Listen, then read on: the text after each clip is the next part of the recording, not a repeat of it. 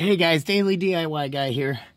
We were working on a 2006 Toyota Avalon the other day and we broke a, eh, the bracket broke and the customer brought it to me on the sway bar arm here. And it was this one here that broke, but there's a nut on the other side inside of that. This one here broke and there's a nut that's welded onto the inside of that. I took it to a friend's shop and they got it out for me for free. Very nice of them. And I went to the dealership and I got this bracket here with these bolts and this bushing and put this back on for them and now we're all done.